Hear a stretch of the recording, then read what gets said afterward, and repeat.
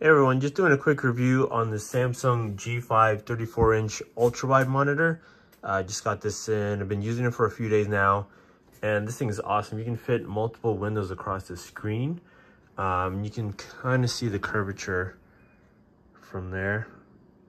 I mean, it's amazing. I'm coming off a 27-inch monitor, and this thing is awesome. I love it. The, the options is a little button down here very easy to navigate and control.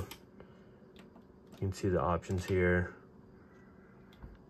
I mean, quality is amazing. I don't do any gaming on this, so it's just strictly using browser windows, um, you know, Skype, Slack, stuff like that. And so far I love it.